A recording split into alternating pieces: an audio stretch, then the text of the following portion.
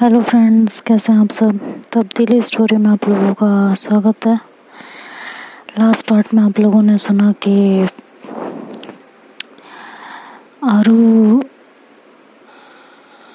और मानवी एक दूसरे को समझते हैं और समझाते हैं। इसके बाद इनके बीच एक मूवमेंट क्रिएट होता है। और मानवी को गोद में उठाते हैं और बेडरूम तक ले जाते हैं। किस करते हुए और वहाँ जाके खुद वैसे ही मानवी को गोद में लिए लिए बेड पे बैठ जाता है और उसे किस करने लगते हैं। दोनों काफ़ी फैशनेट किस कर रहे होते हैं। दोनों को ही दुनिया का कोई होश नहीं होता। सिर्फ़ एक दूसरे में खो जाना चाहते थे। सिर्फ़ एक दूसरे के हो जाना चाहते थे। और दोनों ही मदहोशी में थे। तो और किस करते करते मानवी के फॉरहेड पे किस करते हैं और फिर दोनों आँखों पे, दोनों चेक्स पे धीरे धीरे अपने हाथों से मानवी के जिस्म को महसूस कर रहे होते हैं। मानवी भी आगे बढ़ के आरू के नेक पे किस करने लगते हैं। उनके बालों में अपने हाथ डाल के उनके बालों को सहलाने लगते हैं। आरू अपने होश गंवाने लगते हैं। मानवी को बेड पर लिटाते हैं और उनके ऊपर आ जाते हैं। उनके होठों को चूमते हुए उनकी नेक पे किस करते हैं। उनके नेक पे किस करने के बाद वो खुद नीचे होते हैं, मानवी को अपने ऊपर लेते हैं और फिर से उन्हें किस करने लगते हैं। मानवी उन्हें सपोर्ट कर रही होती हैं, लेकिन जैसे ही आरू का हाथ मानवी के ड्रेस की बैक की चिप को खोलने लगता है, उनके स्ट्रिप खोल के। मानवी एकदम से हड़बड़ाने लगते हैं और काफ़ी अनकंफर्टेबल फील करने लगते हैं। बट वो आरू को रोकना नहीं चाह रही होती, इसलिए वो कुछ कहती नहीं है। खामोश रहते हैं, लेकिन जो उनका सपोर्ट हो रहा था आरू को किस करने में और बाकी चीज़ों में, वो थोड़ा सा कम होने लगता है। तो पहले तो आरू इग्नोर करती है इस चीज़ को। उसे लगता है कि शायद ऐसे शर्मा रही है। और वो अपने हाथों को कंटिन्यू रखते हैं और उनकी जिप को खोल लेते हैं और धीरे से पीछे की साइड से उनकी ड्रेस रिमूव करने लगते हैं। तो रिमूव पूरी तरह से रिमूव करने के लिए वो मानवी को अपने ऊपर से थोड़ा सा उठाते हैं। और ड्रेस को रिमूव कर रहे होते हैं, लेकिन मानवी का कोई सपोर्ट नहीं मिल रहा होता है। बल्कि वो अपनी बॉडी को काफ़ी टाइट कर रही होती हैं उस टाइम पे। जैसे कि हम ड्रेस रिमूव करने के लिए हाथों को लूज़ कर देते हैं बट उस समय मानवी के हालत कुछ अलग थी और सिचुएशन भी कुछ अलग सा फील हो रहा था। तो आरू एक बार मानवी की आँखों में देखते हैं। देखते हैं कि महसूस करते हैं उसके फेस से कि वो काफ़ी अनकंफर्टेबल फील कर रही होती है। उसके हाथ भी थोड़े शेयरिंग कर रहे होते हैं। तो मानो वो आरू जो है मानवी को तुरंत टाइटली हक करती है और उसके ड्रेस को वापस से ठीक करती है और उसके जिप लगा देती है। तो मानवी थोड़ा सा शॉक उठती है आरू की इस हरकत को देख के। तो हल्का सा ऊपर उठती है और आरू की आँखों में देखती है तो आरू को उसे आँख मारती है और कहती है बी कंफर्टेबल यार पार्टनर हूँ तुम्हारी। कोई ज़बरदस्ती का रिश्ता नहीं जोड़ा है तुमसे कि नहीं, तुम्हें सब करना ही पड़ेगा। प्यार किया है तुमसे। इसका मतलब ये नहीं है कि जो मेरे मन में आएगा वो तो मैं करना ही पड़ेगा। मेरी खुशी के लिए तुम्हें अपनी खुशियों को छोड़ना पड़ेगा। तो मानवी चुप हो जाती है और अपना सर ऐसे ही उसके सीने पे रख देती है और कहती है थैंक यू बिना कुछ बोले कैसे समझ जाते हो हर बार? तो वो कहती है कि आपका जो ये असहज होना है ना अनकंफर्टेबल होना, ये बहुत कुछ कह देता है। मैंने आपको पहले भी बोला था और अब फिर से कह रही हूँ। अगर तुम वो फील नहीं करती हो, जो तुम्हें इस मोमेंट पे फील करना चाहिए तो उसकी एक्टिंग करने की भी ज़रूरत नहीं है। मैं इस चीज़ के लिए मर नहीं रही हूँ। जो कुछ होगा, दोनों की मर्ज़ी से होगा। अदरवाइज़ नहीं होगा। ना मुझे इस चीज़ की ज़्यादा नीड है, और जहाँ तक मुझे लगता है ना, तुम्हें नीड है। तो बी कंफर्टेबल यार। वी आर पार्टनर्स बराबर का हक है हम दोनों का एक दूसरे पे। समझ में आया आपको? तो मुझे नहीं लगता कि तुमको इतना ज़्यादा परेशान होने की ज़रूरत है इन चीज़ों को लेके। ठीक है? और आई होप मुझे आज के बाद तुम्हें ये बातें ना समझानी पड़े। तो आज के बाद इस एक्टिंग की जब पूरी तरह कंफर्टेबल फील करना, तब हम सब ये सब, पता है तुम्हें क्या होता है? तुम अनकंफर्टेबल फील कर रही हो, मैं चाहूँ कुछ भी कर लूँ तुम मुझे रोकोगी नहीं। आई नो इट मुझे बहुत अच्छे से पता है कि तुम नहीं रोकोगी मुझे। बट द फैक्ट ये है कि बेटा मज़ा नहीं आएगा ना। मुझे ऐसा लगेगा, मैं तुम्हारे साथ ज़बरदस्ती कर रही हूँ। फील नहीं होगा वो प्यार। उसको महसूस ही नहीं कर पाएँगे हम दोनों। तो जिस चीज़ को हम दोनों महसूस नहीं कर पाएँगे, उस चीज़ करना क्यों है मेरी जान? हाँ? जिस चीज़ को महसूस ही नहीं किया जा सकता, उस चीज़ को करने से तो बस आप, मुझे इससे ज़्यादा आपसे कुछ नहीं जानना। बोलो। अगर कल को मैं बिना मन के, बिना अपनी मर्ज़ी के तुम्हारी, सिर्फ़ तुम चाहते हो इसलिए कुछ करूँ, तुम्हें अच्छा लगेगा? तुम्हारे भी कहते नहीं, कब अच्छा लगेगा? तो कहती है तो बस वही चीज़ है। तो मुझे कैसे अच्छा लगेगा? तुम खुद सोचो ना। मुझे भी नहीं अच्छा लगेगा अगर तुम बिना अपनी मर्ज़ी के मेरे साथ कुछ भी करती हो तो। वी आर इक्वल ठीक है। और ये कह के आरू उसे टाइटली हक करती है और कहती है, बस इसी में सुकून है, यही चाहिए। ऐसे ही तुम मेरे पास बस ऐसे ही रहो हमेशा। इसी में सुकून मिल जाता है मुझे। उन सब चीज़ों की ज़रूरत ही नहीं है। पूरी ज़िंदगी भी मैं तुम्हारे साथ ऐसे ही काट सकती हूँ। थोड़ा सा रोमांस थोड़ा सा कडल बहुत सारी लड़ाई और बहुत सारे आर्ग्यूमेंट्स है ना?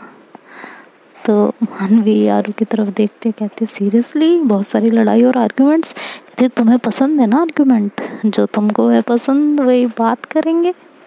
तुम दिन को अगर रात कहो तो रात कहेंगे। तो मानवी कहती है, हाउ क्यूट, कितने अच्छे हो ना तुम।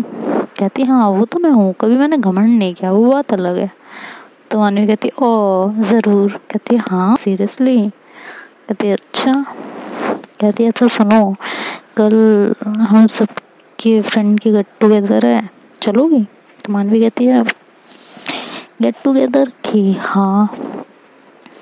कौन कौन रहेगा? कि सब रहेंगे? कि आयुषी भी? हाँ वो भी। कहती है, फिर तो डेफिनेटली चलना है। कहती है, एक बात बताओ, मैं तुम्हें बहुत नोटिस करती हूँ। आयुषी के नाम से तुम कहती है नए नए वो मुझे मज़ा आता है। वो जिस हिसाब से वो फ्लर्ट करते हैं ना, मज़ा आता है सीरियसली ऐसा कुछ नहीं है। तो आरू हंसती और कहती है कि, देख के, संभल के। कहीं मेरी गर्लफ्रेंड किसी और की तो नहीं होती जा रही है? तो कहती है ओ शडा प्यार ऐसा कुछ भी नहीं है। जैसा तुम समझ रहे हो, ठीक है?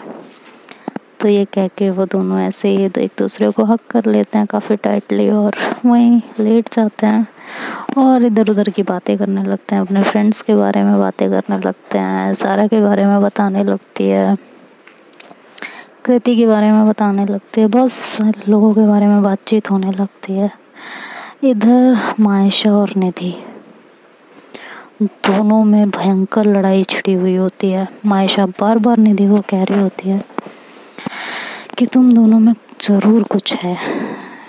अगर तुम्हारी तरफ़ से नहीं है तो मानवी की तरफ़ से तो डेफिनेटली है। निधि कहती है, तुम्हारा दिमाग ना खराब हो चुका है और कुछ नहीं। आज तुमने देखा ना वो आरू के लिए कितना परेशान थी? देख रही थी ना तुम? फिर भी तुम इस तरह की बकवास करती हो? तुम्हें शर्म नहीं आती है सब कहते हुए Maysha? I am in love with you कहती है आई नो बट मुझे निधि से पता नहीं क्यों एक अजीब सी वाइब्रेशन आती है। मुझे सीरियसली नहीं पता ये क्या होता है। मुझे सच सच बता दो, तुम दोनों के बीच कभी कुछ तो निधि कहती, नहीं यार, कुछ नहीं ऐसा। ऐसा कुछ होता तो क्या वो आरू के साथ होती तो खुद सोचना। तो कहती है, यार, मैं उससे वाकिफ़ हूँ। वो अपनी सोशल लाइफ को लेके बहुत ज़्यादा कॉन्सियस है। तो इस वजह से शायद तुम्हारे साथ ना रह के वो उसका साथ प्रेफर कर रही हो। वैसे भी आरू लड़के की तरह ही लगती है। तो जिसके साथ, उसके साथ चलने में शायद उसको कोई प्रॉब्लम ना होती हो। क्योंकि कोई इतना जजमेंट पास ही नहीं करेगा, जो नहीं जानते होंगे, उन्हें तो यही लगेगा मानवी एक लड़के के साथ जा रही है। तो दुनिया की नज़रों से वो बची रहेगी। वो शायद आरू का सिर्फ़ यूज़ कर रही हो, और वैसे भी एक बार सोशल लाइफ की वजह से वो उसे छोड़ चुकी है। अगर हम इस बात को ना भूलें तो तो निधि कहती यार, तुम्हारी बकवास बढ़ती जा रही है, और मुझे इस बकवास में कोई इंटरेस्ट नहीं है। अगर तुम्हें ये बकवास फिर भी जारी रखनी है तो शौक से कंटिन्यू करो इस बकवास को but I am not interested तो मायशा कहती है कि साफ़ साफ़ मुझे बता दो तो अच्छा है। तो निधि कहती है, ऐसा है, कल हम सब फ्रेंड्स का गेट टुगेदर है तो मुझे तो वहाँ जाना है। तुम्हें चलना हो तो चल लेना, और अभी फ़िलहाल के लिए मैं बाहर जा रही हूँ। ठीक है? सो बाय क्योंकि दोनों लिव इन में रह रहे होते हैं। तो निधि बाहर चली जाती है और बाहर जाके सोच में पड़ती है, कहती है, यार, इस मायशा को क्या हो गया है? इस तरह से बिहेव क्यों कर रही है? ऐसा कुछ भी नहीं है। कैसे इसको समझाऊं? जो था, वो सब कुछ ख़त्म हो चुका है यार। ऐसा कुछ भी नहीं है। वो भी मेरी तरफ़ से था, मानवी की तरफ़ से कुछ भी नहीं था। मानवी ने तो पहले ही सब क्लियर कर दिया था यार। ये बातें बस इसलिए नहीं बताई गई क्योंकि नहीं चाहते कि बेवजह जो रिश्ता आगे नहीं बढ़ना, उस बारे में बात करके फ़ायदा क्या है? बट ये मायशा, इसको पता नहीं क्या हो गया है। मुझे तो समझ ही नहीं आ रहा कुछ। और वो ऐसे ही बहुत ज़्यादा इरिटेट हो जाती है और फिर वो शॉपिंग के लिए चली जाती है। थोड़ी बहुत शॉपिंग करती है और इधर उधर अपने दोस्तों के साथ। घूमती फिरती रहती है और इधर मानवी और आरू काफ़ी अच्छा टाइम स्पेंड करते हैं साथ में और उसके बाद मानवी भी शाम हो जाती है तो अपने घर चली जाती है। आरू भी फिर अपने काम में लग जाते हैं और इस तरह करते करते इन लोगों का दिन वो कट जाता है। रात को मानवी और आरू एक दूसरे से बातें करते हैं डिस्कस करते हैं कि कल के गेट टुगेदर में क्या पहना जाएगा। और इधर निधि जब घर आती है तो मायशा उससे बिल्कुल बात नहीं कर रही होती है। और जब भी बात करती तो वही एक ही बात कर रही होती है तो जिसकी वजह से निधि काफ़ी इरिटेट हो जाती है। और वो कहती है, इससे अच्छा है कि तुम मुझसे बात ही मत करो, ठीक है? कल तुम्हें चलना है या नहीं, वो डिसाइड कर लो और उस हिसाब से अगर चलना है तो अपनी ड्रेस सेलेक्ट कर लो। मुझसे ना ये फालतू की बहसबाजियाँ करो ही मत। तो मायशा भी फिर गुस्से में जाके अपनी ड्रेस उठाती है और जाके सो जाती है। दूसरे रूम में निधि के पास नहीं सोती है उस टाइम पे। वहाँ नहीं लेटती उसके पास। और वो दूसरे रूम में चली जाती है। निधि कहती है, जाओ यार, मुझे भी ना इस फालतू के लफड़े में तो बिल्कुल नहीं पड़ना। पता नहीं हो क्या गया है? कुछ समझ ही नहीं आ रहा। क्या चल रहा है? क्या चाहती है? और इधर ये दोनों फिर से एक अच्छी तरीके से बात करते हैं गॉसिप करते हैं मानवी और आरो। और उसके बाद दोनों सो जाते हैं। इधर ये दोनों भी सो जाते हैं। नेक्स्ट मॉर्निंग में एज़ यूजुअल ये लोग अपने अपने काम निपटाते हैं और शाम के टाइम पार्टी के लिए रेडी हो रहे होते हैं। पार्टी के लिए रेडी होने के बाद एक जगह डिसाइड होती है, जो कि ज़ारा का फ्लैट होता है, वहाँ पे पार्टी होने का। मैं भी रेडी होती हूँ और वहाँ से ज़ारा को कॉल करती हूँ कि मैं आ रही हूँ और तुम भी तो भाभी हैं या नहीं है? तो कहती है कि हाँ है। कहते चल ठीक है, फिर मैं आती हूँ। और इधर से मानवी और आरू भी, मानवी को लेने आरू जाती है। तो सब लोग ज़ारा के फ्लैट पे पहुँचते हैं और पार्टी की शुरुआत करने का बेसब्री से इंतज़ार कर रहे होते हैं। बट अभी निधि और मायशा का कुछ भी आता पता नहीं होता। सिर्फ़ मैं, मानवी और आरू वहाँ पहुँचे होते हैं और कृति होते हैं और ज़ारा। तो हम ही लोग होते हैं वहाँ पे तो इंतज़ार कर रहे होते हैं कि कब आएँगे ये दोनों।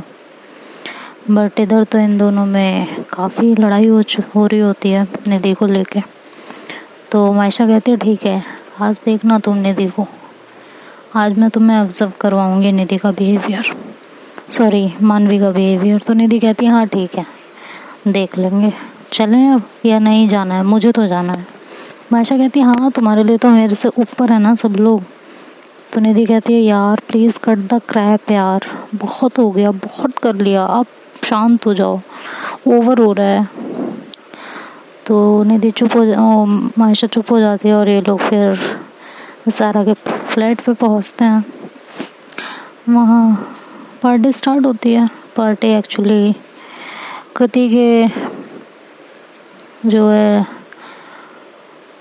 कोई जहाँ जॉब करती थी, वहाँ प्रमोशन हुआ था तो उसकी खुशी में थी। तो उसी में हम लोग पार्टी स्टार्ट करते हैं पार्टी करते हैं, एक दूसरे से कुछ बातचीत करते हैं। तो मैं मानवी से कहती हूँ, और मानवी, क्या हाल है? अभी भी सोशल लाइफ इशूज़ चल रहे हैं या बंद हो गए? तो मानवी कहती है, सब बंद। अब तो जो कुछ है, सिर्फ़ आरू। इनके अलावा और कुछ दिखाई ही नहीं देता। तो कहते हैं अच्छा अब कॉलेज में कोई परेशान नहीं करता? कि नहीं, अब कोई नहीं करता। और कोई क्यों भी करेगा अब? कोई नहीं करता। मैंने कहा, चलो, अच्छी बात है। और आरू, इधर आ। तो आरू मेरे पास आते हैं कहते हो कुछ गाड़ी आगे बढ़ी। उस दिन का रोमांस आगे बढ़ा या बंद है अभी भी हाँ कहते शड़ा प्यार। कहते, अरे, मुझसे भी बताने में शर्म आएगी, ये कुछ हद नहीं हो गई है। फिर हम दोनों, निधि और मायशा की तरफ़ देखते हैं कि वो दोनों काफ़ी अलग अलग घूम रही होते हैं और दोनों में कुछ ज़्यादा बात भी नहीं हो रही होती। और, निधि को मानवी अपने पास बुलाती है कि, निधि, सुनो तो सही है तो निधि नहीं जाती उसके पास, वो बहाने मार देती है। तो मानवी बहुत देर से ये चीज़ें नोटिस कर रही होती है तो उसका भी मूड ख़राब हो रहा होता है कि ये निधि को सडन हुआ क्या है? वो ऐसा बिहेव क्यों कर रही है मेरे साथ? तो काफ़ी मूड उसका भी डिस्टर्ब हो जाता है। तो ये चीज़ आरू भी नोट करती है। कहते यार, कुछ चल रहा है क्या? तो मैं कहती हूँ, लग तो मुझे भी रहा है। कुछ होने वाला है क्या? कहती हैं हाँ लग तो मुझे भी रहा है। अल्लाह बचाए, अगर ये ये लोग लड़ने लगे ना, कसम से सर के बाल मिल लेंगे। मैं कहती हूँ, यार, एक काम करती हूँ, मैं निकलती हूँ यहाँ से, क्योंकि मुझसे ना इन लोगों की ये बिल्ली वाली फाइट्स देखी नहीं जाएँगी। तो कहती शट अप यार। तो ज़रा मुझसे कहती है, क्या हो गया? मैंने कहा, यार, देख तो नोटिस तो कर, कुछ कोल्ड वॉर सा नहीं चल रहा है? तो कहते हैं कि ये निधि और मानवी और मायशा में ना, कि हाँ तो और कहती यार, मानवी की तरफ़ से तो ऐसा कुछ नहीं था बट ये सडन हुआ क्या है? कुछ समझ में नहीं आ रहा. तो मानवी एकदम गुस्से से उठती है और निधि के पास जाती है, उसका हाथ पकड़ती है और उसको साइड में ले जाती है, कहती तुम्हें हुआ क्या है? मैं तुम्हें कब से बुला रही हूँ? तुम मुझे अवॉइड किए जा रही हो? क्या चक्कर क्या है? हा? क्या ये मायशा के पीछे पीछे पीछे पीछे पीछे पीछे तो निधि कहती है, क्या मायशा के पीछे पीछे? कहाँ हूँ मैं मायशा के पीछे पीछे? जब से आई हूँ, देख तो रही हो इधर से उधर उधर से इधर कर रही हूँ? तो मानवी कहती तो मुझ पे क्यों चिल्ला रही हो? मायशा और तुम्हारा है क्या? ये तो बता दो। तो कहती है, तुम्हें नहीं पता, हम लोग रिलेशनशिप में कहते ठीक है रिलेशनशिप में इसका क्या मतलब? फ्रेंड्स को भूल जाओ। हाँ? अब मैं आरू के साथ रिलेशनशिप में हूँ, इसका मतलब ये तो नहीं है कि मैं आरू को भूल गई हूँ या क्या? मतलब मैं तुम लोगों को भूल गई हूँ या क्या? तो तभी मामा आयशा आती कहती हाँ तुम क्यों किसी को भूलोगी? जब दिल तुम्हारा मानवी के ऊपर होगा, ओ सॉरी निधि के ऊपर होगा तो आरू तुम्हारे आसपास हो या ना हो, तुम्हें क्या फ़र्क पड़ेगा? अगर निधि तुम्हारे आसपास है, उस समय आरू की तो कोई वैल्यू ही नहीं होगी ना। तो मानवी कहती, क्या मतलब है तुम्हारा? क्या बकवास किए जा रही हो ये तुम? हाँ? तो भाई ज़ारा, कृति और आरू सतर्क हो जाते हैं कि कुछ तो गड़बड़ होने वाली है। तो आरू कहती है, मायशा, क्या बोल रही हो यार? कहती है, मैं सच बोल रही हूँ। She likes Nidhi. I think she love Nidhi. तो आरू कहती फालतू की बकवास बंद करो। निधि किसी और से प्यार करती थी। किसी और से क्या तुमसे प्यार करती है?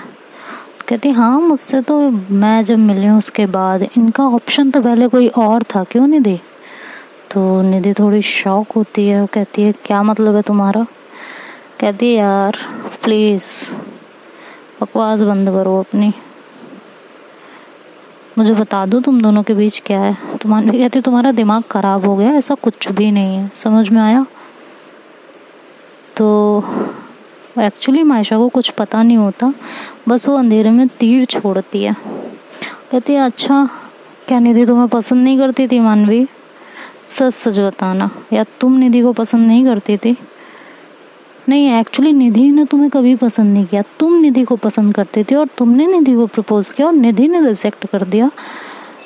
तो तुम्हें बुरा लगा और तुमने इसी के बेस्ट फ्रेंड को पटा लिया, है ना? तो मानवी कहती हूँ व्हाट द क्या क्या बकवास क्या किए जा रही हो?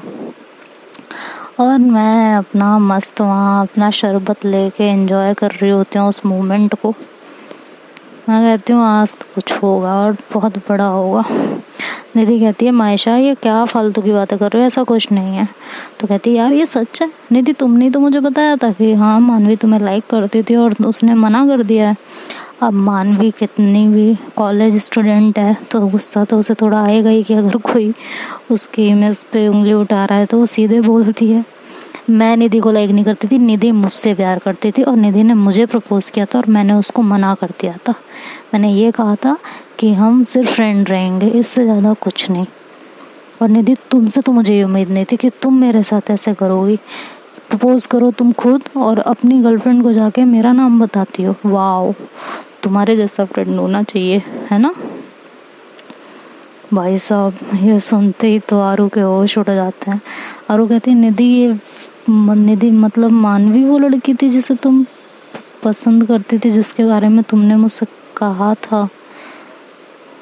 तो निधि चुप हो जाती है।